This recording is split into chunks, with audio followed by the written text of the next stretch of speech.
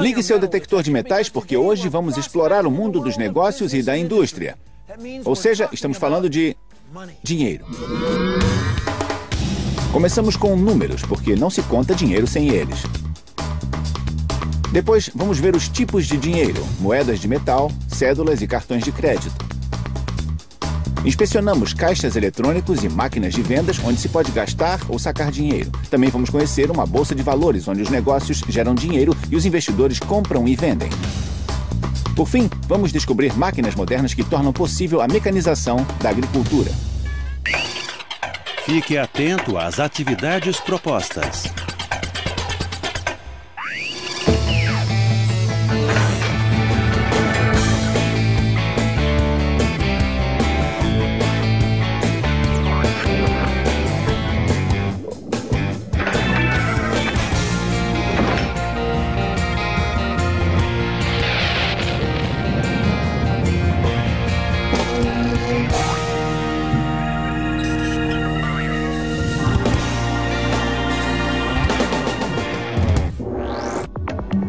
Ao assistir à primeira parte deste programa, reflita sobre as seguintes perguntas.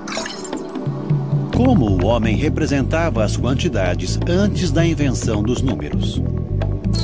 Como a tecnologia mudou nossa forma de comprar e vender bens e serviços?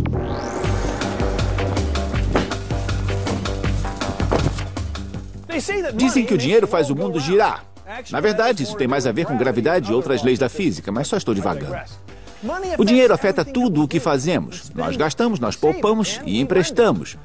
Para muitos de nós é a forma de medir o sucesso ou o fracasso.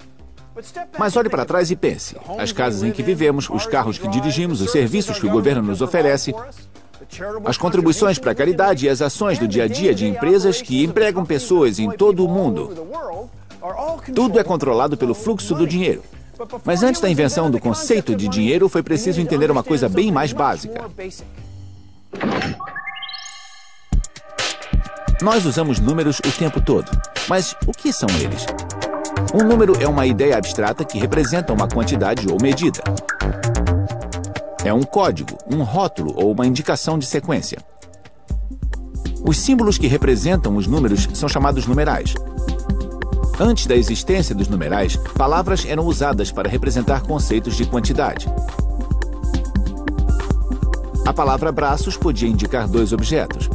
Mas este sistema não era eficiente, então as palavras foram substituídas por símbolos.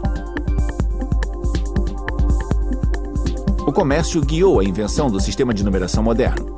Os comerciantes precisavam de uma forma fácil e rápida de fazer cálculos. Muitas culturas desenvolveram formas de contar e dar nomes a números. Os primeiros sistemas, inventados por egípcios, gregos e romanos, repetiam e somavam símbolos simples para indicar valores. Por volta de 3000 a.C., os egípcios começaram a usar hieróglifos para simbolizar números. Para indicar seis, eles usavam seis símbolos, mais ou menos assim. O sistema romano, desenvolvido por volta do ano 500 a.C., usava dois símbolos para ilustrar o número 6. Hoje nós precisamos de apenas um símbolo para representar o conceito de seis. O chamado sistema de numeração indo-arábico foi desenvolvido na Índia. No começo dos anos 200 a.C., os hindus inventaram nove dígitos, cada um representado por um símbolo. Eles não usavam o dígito zero, representado pelo símbolo em sânscrito para shunya, que significava vazio, nos primeiros 800 anos. No começo, eles usavam um espaço em branco ou um ponto no lugar do zero para representar o conceito de nada. Os maias da América Central podem ter criado uma representação para o zero de forma independente dos hindus em cerca de 665 d.C. Seu sistema também era baseado no princípio de empregar um valor. Pode não parecer importante, mas sem o zero, a matemática e a ciência modernas seriam impossíveis. Ele é um dos únicos dois dígitos, 1 um e 0, usados no sistema binário com o qual operam os computadores. Hoje, os números estão em toda parte. A maioria das pessoas não consegue imaginar a vida sem eles. O mundo todo usa o sistema numérico desenvolvido há 22 séculos. Ele permitiu e ainda permite incríveis avanços tecnológicos. De volta aos tempos antigos, antes do seu e do meu tempo, quando não havia lojas, shoppings, mercados, quiosques, nenhum lugar para se fazer compras, a troca era o nome do jogo na época. Se eu tinha laranjas e queria maçãs, e você tinha maçãs e queria laranjas, a gente podia trocar. Isso funcionou muito bem durante um tempo. Mas pense nisso. E se você quisesse minhas laranjas e eu não quisesse suas maçãs? O que fazer? Nesse caso, a gente podia trocar uma promessa de valor reconhecido e assim, meu amigo, nasceu o dinheiro.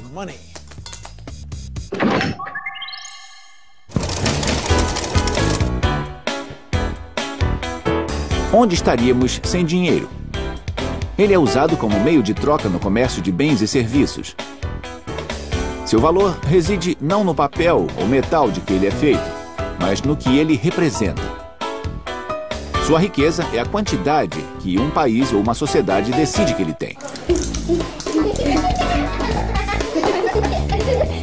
Esse pequeno pedaço de papel quase não tem valor. Mas no jogo Banco Imobiliário ele pode comprar parques e avenidas porque os jogadores aceitam os valores atribuídos pelo jogo. Na vida real, o dinheiro funciona do mesmo jeito.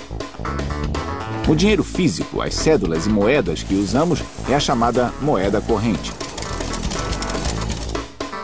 Antes da invenção da moeda corrente, as pessoas trocavam bens e serviços. Por exemplo, na prática deste escambo, alguém podia trocar algumas dúzias de frutas por uma mula. Uma economia monetária com base em moeda corrente funciona melhor do que a permuta, porque permite que o detentor do dinheiro tenha poder de compra para usar onde e quando quiser, mesmo que o comprador não tenha nada para trocar.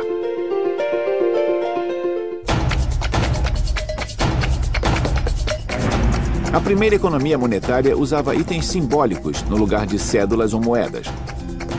Na ilha Iep, no Oceano Pacífico, pedras como esta tinham alto valor e eram usadas para comprar terras.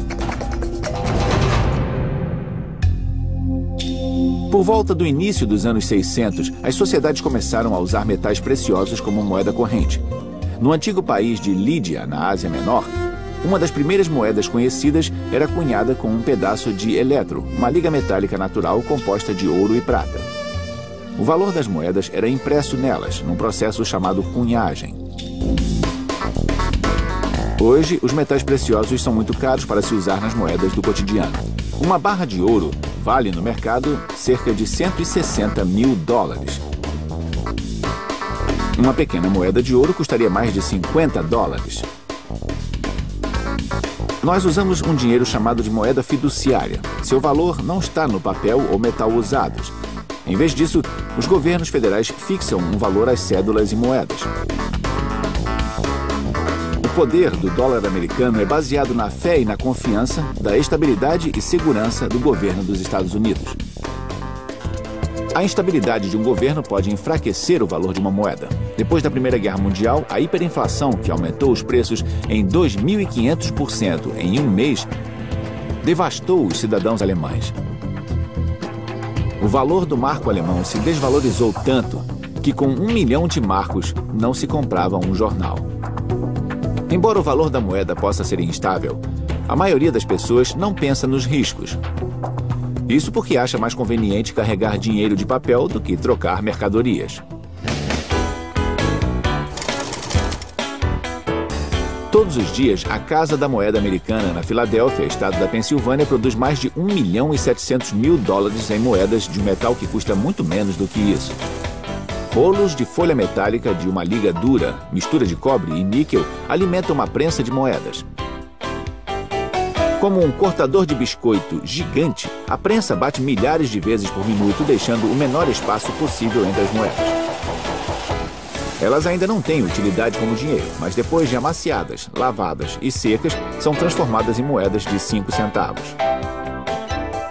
O papel também não tem valor.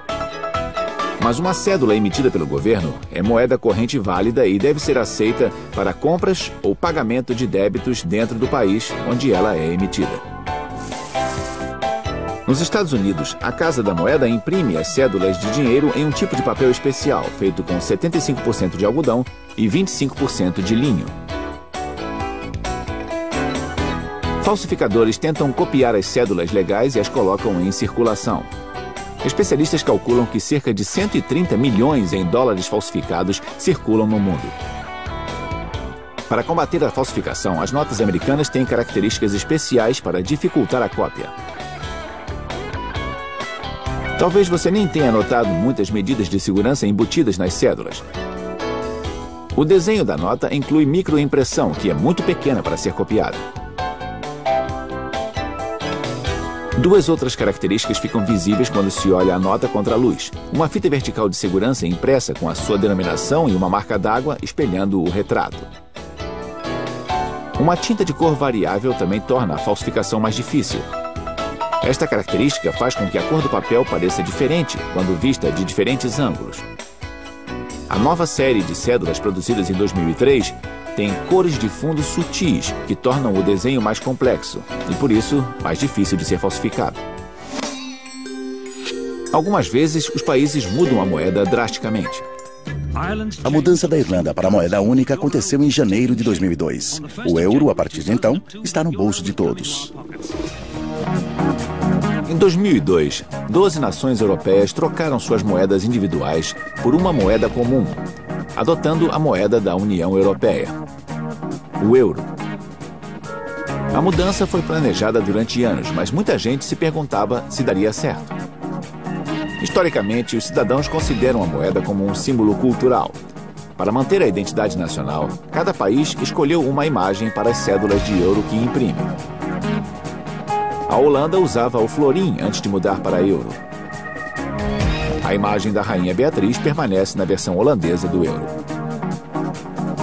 Embora a mudança da moeda nacional incomode pessoas de gerações mais antigas, os mais jovens se sentem confortáveis com a mudança. Eu acho que dinheiro é dinheiro e o euro facilitou a vida.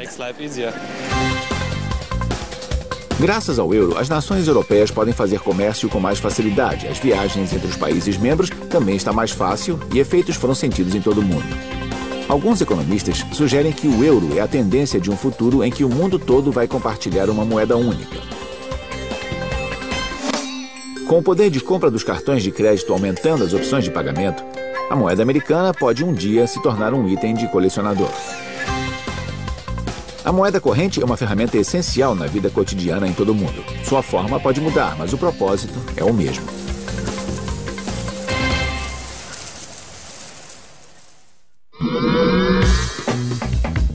Eu gosto de dinheiro vivo. É uma grande invenção, mas tem uma desvantagem. As notas podem ser perdidas, roubadas ou falsificadas. E quando se quer fazer uma compra por telefone ou internet? Bom, é aí que entra nossa próxima invenção. Todo mundo gosta de dinheiro vivo. Cédulas são tangíveis e fáceis de contar. Mas grandes quantidades podem ser arriscadas, podem ser perdidas ou roubadas, e não são fáceis de carregar.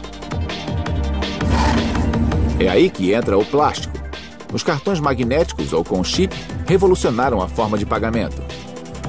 Ambos são formas de dinheiro eletrônico. O conceito de comprar agora e pagar depois dos cartões de crédito se tornou tão popular que a maioria dos americanos tem pelo menos um cartão de crédito. Muitos têm vários. Em geral, os cartões de crédito tornam o pagamento mais fácil, especialmente para itens caros. No entanto, muitas pessoas gastam mais do que podem e ficam devendo. O poder dos cartões de crédito reside na tarja magnética, feita de minúsculas partículas magnéticas com informações da conta corrente de seu portador. Quando o cartão é passado em uma máquina de leitura, envia um pedido de autenticação ao banco ou companhia por meio de uma conexão eletrônica. O banco verifica se o cartão é válido. Um smart card é como um cartão de crédito, mas tem um chip com um microprocessador. Com isso, ele tem mais memória do que a tarja de um cartão magnético.